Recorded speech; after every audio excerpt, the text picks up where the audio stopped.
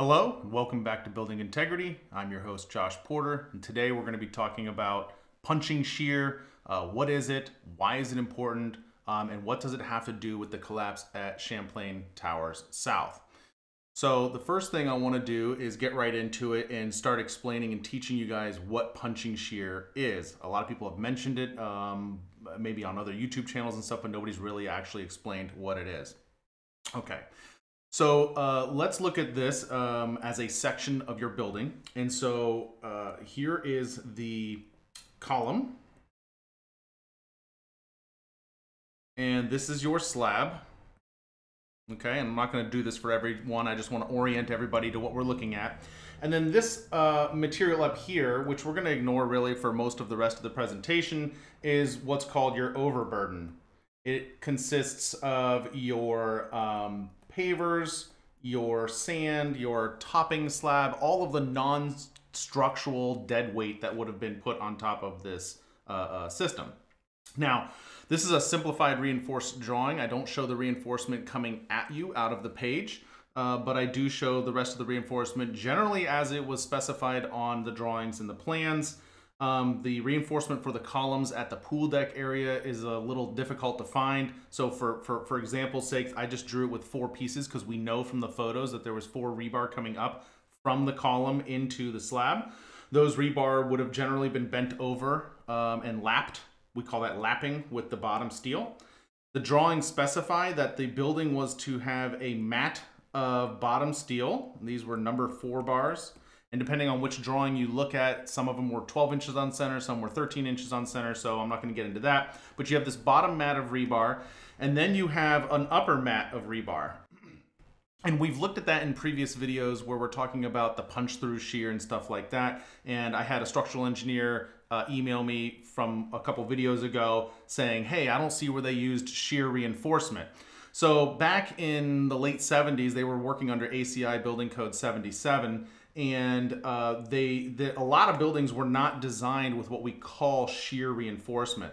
So if we look at punching shear and we, we look at how we would expect this column to punch through, we can see we have these shear cracks that go right through the slab at these locations. And in a modern uh, plate slab construction building like this, we would add rebar um, or we would add some sort of stirrups or we would add um, what they call uh, shear reinforcement. A lot of it's prefabricated now. And you would add that in order to add steel across that crack interface. Okay, we're talking about this crack interface and it creates a big shear plane that in order for this slab to fail you've got to you've got to break the concrete break the steel it's a lot of material you got to get through and so in modern buildings we would add shear reinforcement but back then a lot of buildings most buildings with plate slab construction didn't have this additional reinforcement so the engineer uh, who designed the building specified top reinforcement. And for example, at a lot of the locations, maybe he specified that he wanted 16 number five rebar. Uh, and the number five just tells you how many eighths of an inch it is in diameter. So that's a 5 eighths diameter rebar. He wants 16 of them. Well, in his general notes, he says that he wants 25% uh, of whatever the rebar he specifies at each column location to be located directly over the column. So in this case, you would expect that there would be, you know, four rebar because that's 25% of 16. So you would expect four rebar to be placed over this. And his intention, I believe, was that this rebar uh, would have to be would would come through this shear plane and would provide extra resistance to for punch through um, without actually providing specific reinforcement for punch through shear. Now, the looking at the, the the photos that were taken immediately after, there are some interesting oddities. If you go back, you can see that the shear plane that I'm showing you should look generally, you know, like this uh, uh, inverse cone, if you will. Okay, and we see a little bit of that uh, in this drawing, but really only in one tiny location. So this is the, this is the, oh, not drawing, this photo. So this is a photo of, of the wreckage immediately after. We zoom in on the left side and you can actually see that, that sort of angular shape there where we would expect that shear to have happened. Um, but then oddly enough, you see it actually cuts into the column on this side, which is a little strange. All right. And then also if you look at like this column here, which punched through the slab, you see no material at the top. It's there's there's nothing up there. It's just a it's almost like a pencil pushing through a piece of paper. If you look at the right side of that photo, kind of zooming in, you can see what I'm talking about with uh, the tops of these. You would have expected to have seen some sort of uh, material at the top of these columns. You would not expect to see them as they as they are are, are uh, exhibiting in this photo. Okay, and you can see you've got it on this column. You, you can see punch through from this column and you got another column over here. None of them have the telltale shear head at the top of the columns. Well, I want to show you some historical photos to show you what I'm talking about. So here's a case of punching shear at a parking garage uh, in the UK, and you can see just how massive the shear head is on this thing and the amount of material that was left above the column that, that had to break. So the, the bigger this is in, in circumference, the harder it is for that slab to, to, or the harder it is for that column to punch through the slab and for the slab to fall down. Here's another historical photo, and again, you can see that telltale head on top of the column where it sheared, okay? And then here's another photo, historical photo. I don't know where some of these are from. I, I pulled them off the internet, but I wanted to use them to explain. So you can see the top head here. You can see every single one of these columns has a chunk of reinforcement and concrete uh, at the top of it, right? But we don't have that in in our photos. All we have is just this straight, almost like a pencil head profile, right, coming up through the through the slab. And I'm going to explain this uh, more in this video, uh, why I believe this is the case. And it sort of fits with all the other pieces of the puzzle that we've gone over in previous videos and what we know about this building and this project. Okay, so let's talk about how the engineer designed it. We know that there is a bottom mat of steel. We know that above every column there was supposed to be top reinforcement. Okay, and then we also know that there was some sort of rebar coming up from the column, but we would not expect this to be uh, very robust and it wouldn't typically uh, bend and lap very far into the slab. All right, so I'm gonna switch us over to sort of an isometric view so that we can get our bearings. So looking at this thing in 3D, okay, the, the gray area is obviously your column. And these lines represent like a, like a, like a see-through section of your slab, okay? And then this, of course, is your shear head. Now, in order for the slab to fall down and collapse over this column, everything in that shear head would need to break, right? I mean, you've got to break it all the way around the column in order for the slab to fall down around the column. So what we're going to look at is we're going to look at, well, what is going through this shear head? Because when you go back and you look at this, it's, not necessarily clear, like how much rebar are we talking about, right? So here is a crazy mess of a picture showing all the rebar uh, per the plans, except actually I didn't show some. I didn't show the rebar coming up from the column and I didn't show the rest of the rebar that would have been over the column. I only showed the four bars, which are in blue. So the blue bars are the top reinforcement and everything else is the bottom. Okay, so I showed the four rebar that would have been on top of the column, each direction. This is kind of a crazy picture. We don't need to get overwhelmed with it too much because what I did was I took each of the rebar that actually passed through the plane, the shear head, and I transpose them as simple uh, uh, uh, locations, okay? And so, uh, so here's your, your shear head, and here's all your locations. We zoom in on that a little bit, and you can actually see the blue bars, okay? All the blue, again, equals your top reinforcement. The red, interestingly enough, is your bottom reinforcement. So all that red that you saw in the uh, in this picture here, all this red, on average, only one, maybe two bars of those are going to pass through. You can see where that bar passes right through your shear head.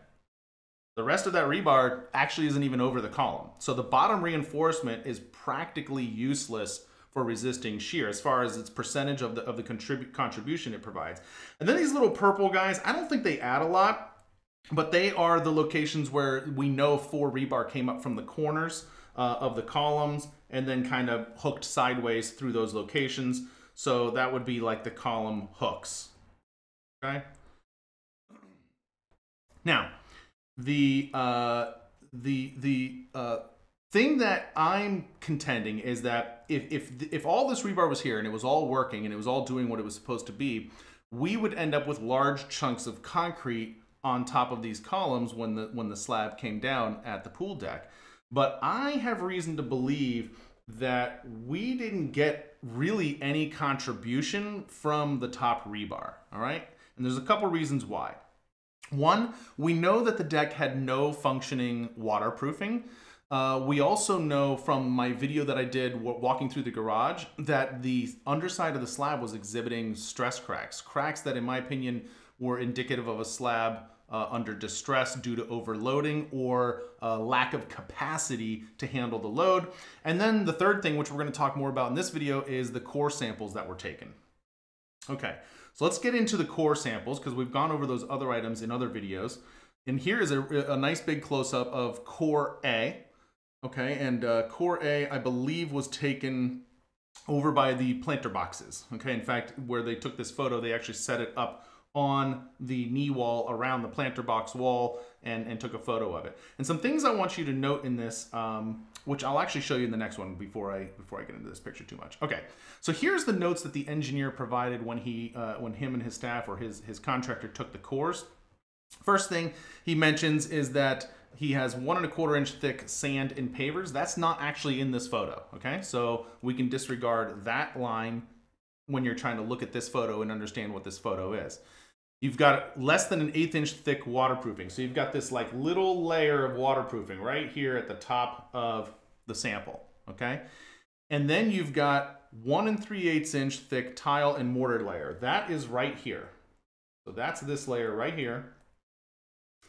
We'll just call it tile, but it's tile and mortar. All right, that's that first one and three eighths inches. Now, what's interesting, think about it, they actually waterproofed over tile and thinset.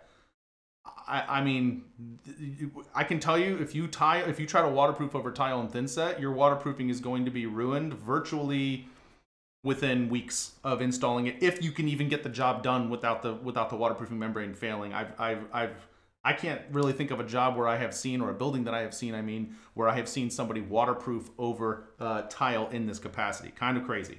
Okay. So then, uh, so then he says he says the mortar might be uh, uh, sloped topping. We're not really sure, but that that that that, that I I drew it correctly on here. All right. So now we're going to look at the two one eighth inch topping slab. Well, that's right here. Okay. So here's your topping slab.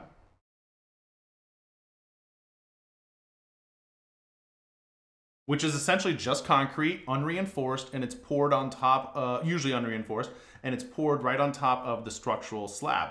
Well, this leaves, and he mentions that it's nine and a half inches thick structural slab. Well, that leaves this portion right here as a core right through the structural slab.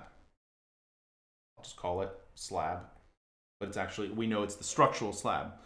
Well, if this area up here is the top, and this area over here is the bottom, okay, then this rebar that we're looking at right here is part of the what we call the top mat. Um, if you remember when I was showing you the uh, the cross sections just a few minutes ago, how we had the rebar at the top and then there's rebar at the bottom. This would be the rebar at the top, and we actually can't see any of the rebar at the bottom. That's that's not a big deal for this core. It just means they missed it when they did the core. Uh, this is a steel uh, a tie or stirrup. Um, it probably was used as a what we call a chair, which is something that would have been installed in the job before the concrete was placed in order to hold this rebar up so that it doesn't fall to the ground. Um, I don't see a lot of significance with this chair right now or with this piece of uh, smooth steel. But the one thing I want you to look at is I want you to look at the fact that this is all fractured and broken apart here. Okay? And I also want you to note how fractured and broken it is around where the layer of steel is. All right. Now, let's look at another core. So here's core B. And again, I'm going to save you uh, uh, some of the time on this, and we're going to breeze through some of these things. You have a stampcrete topping, which just basically means it's concrete uh, for, for but, it, but it's stamped at the top to have a decorative look, so it looks like brick. All right, but here's just basically its topping slab. Okay, and then here is your structural slab. So we can see that uh, the structural slab they measured here as 10 and a quarter inches. There's no waterproofing. This location is over near the parking area. All right, but but more importantly, what I want to focus on is the the concrete slab itself. So or the core itself, I mean. So here's the top of the slab, and here's the bottom of the slab. And and and one of the things I want you to note is just how broken up the slab is, or this core is. I'm sorry and these aren't clean breaks. Like if you're pulling a core out of the concrete and the contractor accidentally breaks the core, it's usually a clean break and you can literally piece them right back together like Legos. This is missing this is missing material here and this is missing material here. And more importantly, where the top layer of steel is, we're missing a lot of material around this. And to me, that's very indicative of a, a spalling around the top mat of steel. Okay. Uh, they took another core uh, over on the other side of the building, uh, on the side that that uh, that did not collapse. But again, I wanted to show you some interesting things on this core. Um, before we get into the, the next slide, I'll just point out that the coring drills can core through rebar. I mean, here's here's a piece of rebar right here um, that they cored right through. Okay, uh, but again, uh, if you notice this, and I'm going to use this picture because it's a little bigger. If you notice this cracked area right here, you'll notice that there's a piece of rebar also here. So that rebar was going, you know, this way, and this rebar was going this way.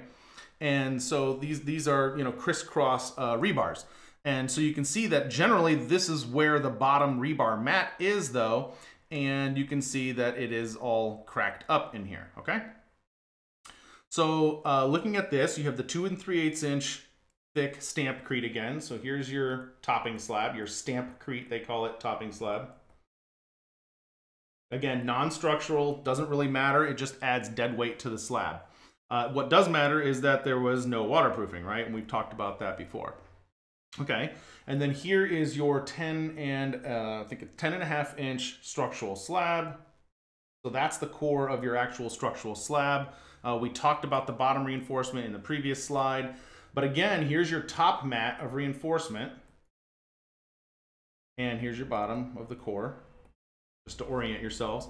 So at the top mat reinforcement, you can see again just how much material is missing around this. This isn't a clean break.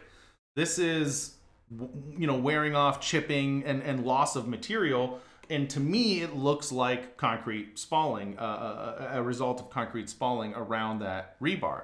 Now, to also give you an example that most cores, when you pull them out, don't normally break on you um, I wanted to show you the uh, two other cores that they took where they took just of topping slab. So this has no reinforcement in it. It's just a topping slab. And you can see they removed an eight inch core here, uh, which is core E1 on their report. And then they removed another core here, which is almost six inches long. And neither of these cores are broken. But then again, they don't have any steel in them that would have been corroding and expanding.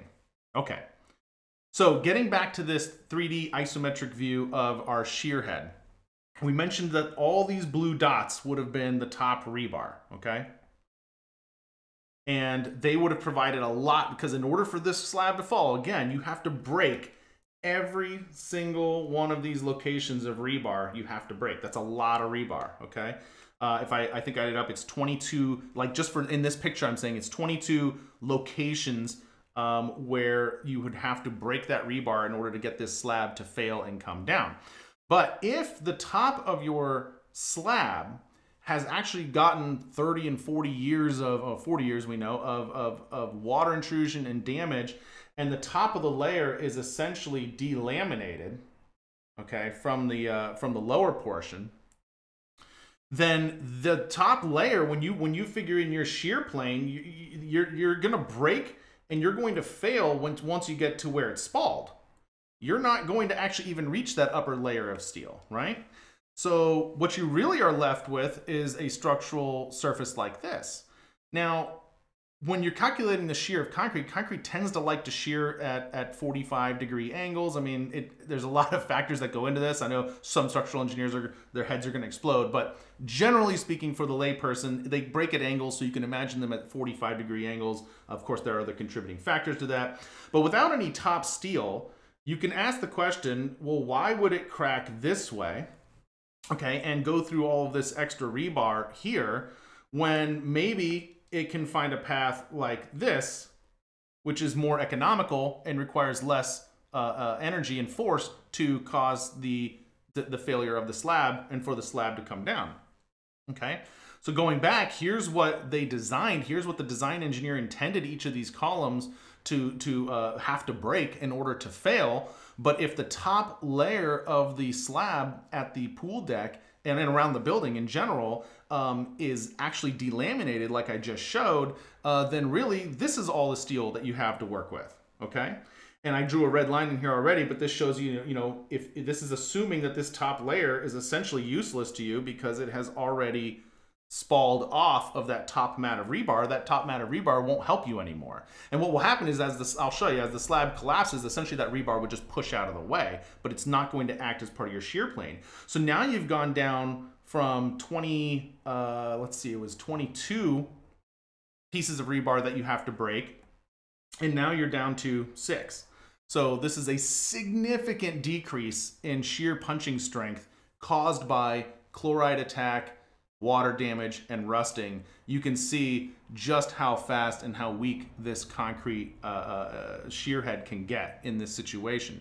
And so then what happens is that the top layer is delaminated, okay, and the slab is going to punch through, the punch through would, would look something more like this, where the slab comes down, okay, so here's your, your slab, and again, I'm not showing the overburden anymore, but here's your slab, here's your column, this is already failed, all right, in this picture. And what you would expect is if the top of the of the uh, um, concrete slab is actually delaminated where the top rebar is, this is this is the cover over that rebar, then you would expect that top to shear and pop up like this. Because essentially, a portion of this up here on top of your column is part of this slab here. And so it was left up top, but the topping not being bonded to anything, you would expect it to have to break and then heave up. That's what we call heaving, okay? And so so if if if the surface is delaminated and and that is what contributed to the punching shear failure at the pool deck, then we would reasonably expect to see that. Well, do we see that? That's the question we want to ask. Well, if you go back and you look through the photos um, of Surfside, you of the Champlain Tower South, I mean, you will see exactly that. You'll see that the, the slab is buckled up here, but you have no shear head. And you'll see that the slab is heaving here, right? And you you really have, I mean, part of this is still sitting on the slab, but you have no shear head. I mean, you have nothing else coming out from this column, right? And we've seen that in, in the other pictures. There are no there are no tops to these these columns. There's no shear head here. It's missing, right?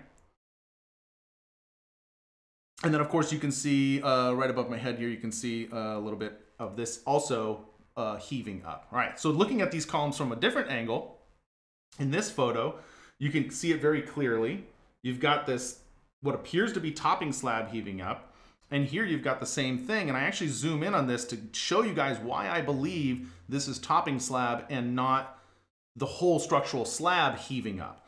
If you look at the at the background, okay, here is the top of the pavers of the portion that remained, that didn't fall, and here's the bottom. And from the cores, we know that the top, the topping, the, the pavers and the sand and all that stuff is about this much material. Okay? Which means that the rest of this is your structural deck. Okay? But if you look at the portion that is heaved and leaning against the column, you can actually see that it is not very thick at all. In fact, it's about the thickness that we would expect if we're only dealing with the overburden here, uh, plus the um, plus the topping that delaminated from the steel. So this is why it, to me it looks like the the uh, the the the top mat of steel over time delaminated. Now, go back to my walkthrough of the garage, and I told you that the slabs looked like they were in distress. Well, you can imagine that if if if you have two columns here, okay, I'm going to draw it real simple, and you've got a slab that's designed to be approximately 10 inches thick, nine and a half, 10 inches thick, and you really need that top steel as part of the strength of that of that structure but you don't have it, okay, and instead you've got some broken, spalled off top because the top has delaminated, you can see that now it's relying on less steel. It's going to sag more because you've lost, uh, for the, you engineers out there, you've lost some of your compressive face. All right, that's not doing anything for you anymore. And so the slab is going to sag more, which means you're going to end up with more cracks in the slab due to stress. So that goes back to the garage walkthrough and I saw all those cracks and that's why I said, man, that really looks like a slab that's in distress. If you look at the way that these slabs punched through or the, conc the concrete columns punched through the slab, to me, it's indicative of um, of this of this top layer delaminating. And so they all all of this sort of seems to point to the same causal uh, uh same causalities. Okay. So that really covers it for this video. Hopefully you guys learned something about punching shear and, and why it matters and how it contributed and how maybe aging of the building and, and maybe neglect, I don't know, contributed to the failure of these pool decks. Uh, in my next video, what I really want to talk about is um, something that I think you guys will find really interesting, which is why did the other half of the building not fall? And why did the build portion of the building that did collapse, why did it progress, uh, uh, collapse in what we call a progressive collapse, where you have single elements failing and then other elements keep failing? Why does it fail like a domino effect, okay? Uh, and then what I'm gonna do also, because you guys have been sending me a lot of uh, comments and sending me emails and things, which is great, I appreciate that. Um, one of the other things I want to try to cover in another future video is um, when you look through the, the, the design drawings and you look at the photos and the way the building was built, I want to try to answer some questions. Was the building designed bad? Was it designed uh, weak? And or and or was the building built weak? Uh, and and did they not put in the rebar where they were supposed to, or did they not pour the slab like they were supposed to? So that's going to be a future video as well. Well, anyway, that'll do it for this video. I appreciate you guys watching as always. Take care.